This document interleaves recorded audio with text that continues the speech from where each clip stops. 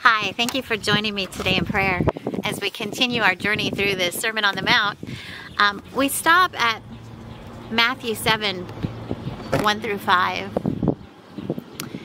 Do not judge, so that you may not be judged. For with the judgment you make, you will be judged, and the measure you give will be the measure you get. Why do you see the speck in your neighbor's eye, but do not notice the log in your own eye? Or how can you say to your neighbor, Me take the speck out of your eye while the log is in your eye? You hypocrite. First take the log out of your own eye, and then you will see clearly to take the speck out of your neighbor's eye. I'm sitting here in the field of dandelions, um, and you can see the potential behind me. I have um, my poppies, which have just put out their big, huge that is going to turn into this gorgeous orange flower. And my peonies are bursting, ready to open, where they will let off their sweet fragrance. But not yet. Not yet.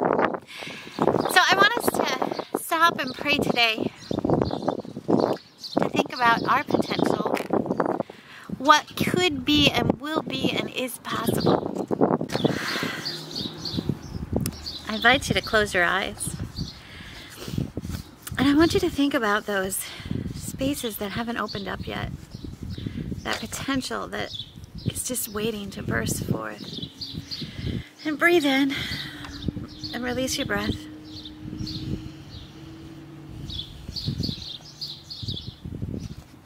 Breathe in. Release your breath. God, sometimes your word is so hard. Sometimes judging is so easy. Sometimes my log is so big. Sometimes that speck is blinding. Do not judge. But what about God, there are so many ways I can fill that space, that pause. There are so many places where we see the things that cause harm, pain, and grief, where there doesn't have to be that harm, that pain, that grief. When we could choose love, we instead choose judgment. So help me see my log. Help me see the places where I judge. Help me see where I'm a hypocrite.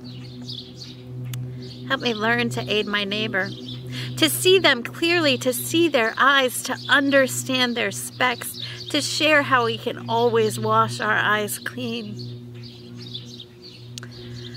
God, this week we think about potential. We think about that new life that is about to burst open. There are so many of us in this community that are getting ready to eh, welcome a new baby in. Some to a first-time mom, some to a first-time grandma, some to a first-time great-grandmother.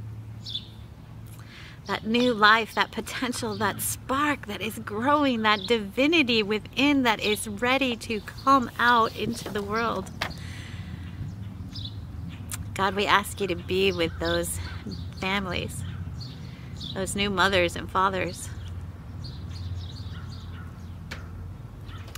God, we ask you to be with our farmers as they've planted their seeds in the ground, hoping for that new life to grow and blossom and nourish the world.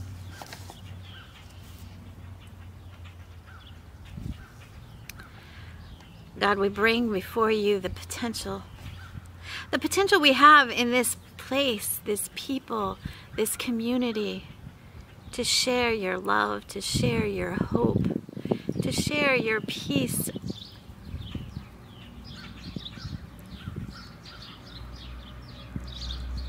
God bless us and bless those around us. Draw near to our families and our friends. Be with them as they cry out to you the prayer of their heart. And we pray, O oh God, that your kingdom come, that your will will be done. Amen.